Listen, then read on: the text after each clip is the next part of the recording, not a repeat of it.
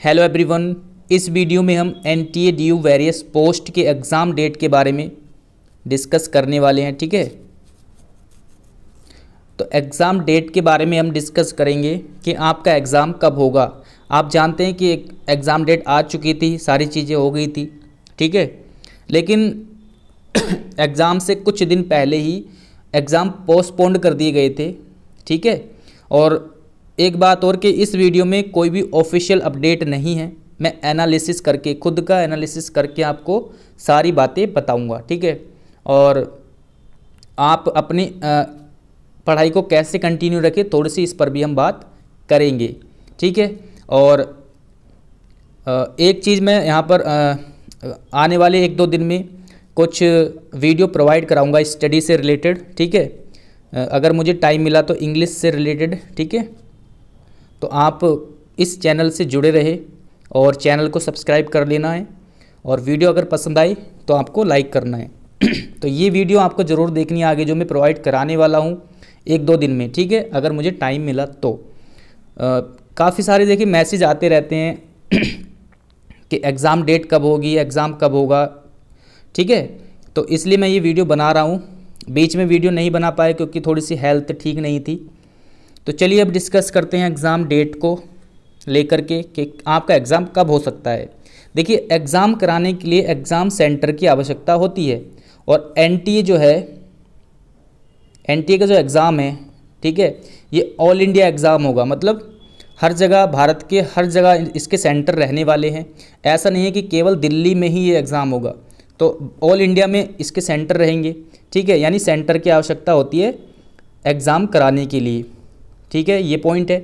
दूसरा पॉइंट ये है कि आप जानते हैं कि एसएससी ने ऑलरेडी सेंटर जो है बुक किए हुए हैं, उसने एग्ज़ाम डेट निकाली हुई है। ठीक है एसएससी स्टेनोग्राफर का जो है 11 से 15 के बीच में है। ठीक है 11 से लेकर 15 तारीख तक एग्ज़ाम होंगे।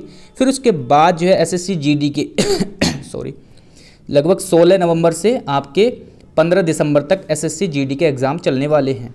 यानी इतने तारीख के बीच में, इस डेट के बीच में 11 नवंबर से लेकर के 15 दिसंबर तक आपके एग्ज़ाम सेंटर फ्री नहीं रहेंगे। ये आप देख सकते हैं क्योंकि एसएससी जीडी का जो एग्ज़ाम होता है ना, वो बहुत बड़े लेवल का एग्ज़ाम है। काफ़ी सारे बच्चे फॉर्म अप्लाई करते हैं उसमें।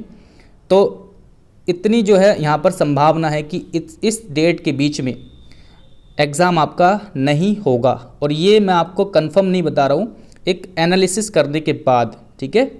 कब नाइन्टी नाइन परसेंट चांस यही है कि इस डेट के बीच में आपका एग्ज़ाम नहीं होगा। क्योंकि आप जानते हैं एग्ज़ाम कराने के लिए क्या आवश्यकता पड़ती है एग्ज़ाम सेंटर की, ठीक है ना? तो इस डेटा को एनालिसिस करने के बाद ये निष्कर्ष निकलता है कि आपका 99 परसेंट आपका एग्ज़ाम नहीं होगा। और एक परसेंट पहले हो भी सकता है, ठीक है? इस डेट से पहले। तो आपको करना क्या है? आप लगभग एक से डेढ़ महीना एक से डेढ़ महीना मान करके आप अपनी स्टडी को अच्छे से प्रिपेयर अपनी जो स्टडी अच्छे से कंटिन्यू रखें और एक अच्छे से टाइम टेबल बना करके सारे सब्जेक्ट अच्छे से पढ़े, ठीक है? और एक अच्छा सा टाइम टेबल बनाएँ आप, लगभग डेढ़ महीने का एक टारगेट बनाएँ और मन लगा करके पढ़े, ठीक है? सारी चीज़ें कवर करनी है आपको, चार सब्जेक्ट हैं आपके, है ना?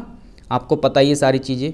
तो एक अच्छा सा टाइम टेबल बनाओ और पूरे एनर्जेटिक होकर के आप स्टडी करें और एक दो दिन में आपको मैं वीडियोस प्रोवाइड कराने आ, की कोशिश करूँगा स्टडी से रिलेटेड डेली ठीक है?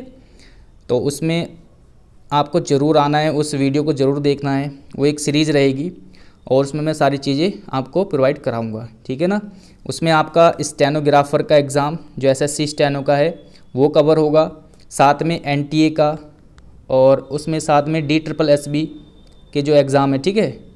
वो सारे कवर मैं करूँगा ओके तो अगर मुझे टाइम मिला तो मैं एक से दो दिन में वो आपको चीज़ें प्रोवाइड कराऊँगा और कंटेंट बहुत अच्छा है, काफ़ी टाइम पहले मैंने बना करके रखा हुआ है।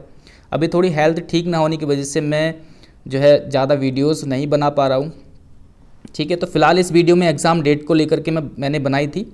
तो एग्ज़ाम डेट आप एक से डेढ़ महीना आप आराम से मान करके अपनी तैयारी करें, अच्छे से टारगेट बनाएँ, ठीक है? और, ठीक है, यहाँ पर आपके इतना तो टाइम आपके पास है अभी, क्योंकि लगभग पंद्रह बीस दिन पहले नोटिस भी आएगा तो इतना टाइम आपको इजीली मिल जाएगा। चलिए, मिलते हैं अगली वीडियो में। आप अच्छे से पढ़ें, अपनी तैयारी को अच्छे से कंटिन्यू रखें, और जो चीज़ें आपको नहीं आती है, उसको अच्छे से पढ़ें। ठीक है? अच्छे से नोट्स बनाओ अपने। और नोट्स बना करके पढ़ना चाहिए, ठीक है? ताकि एग्ज़ाम डेट आते ही आप उसको रिवाइज़ करो। ठीक है ना? इस तरीके से आप अच्छे से सारे नोट्स बना करके कंप्लीट कर लो।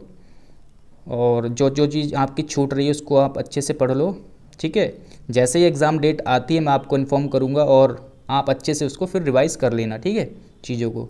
चलिए मिलते हैं अगली वीडियो में। Thanks for watching this video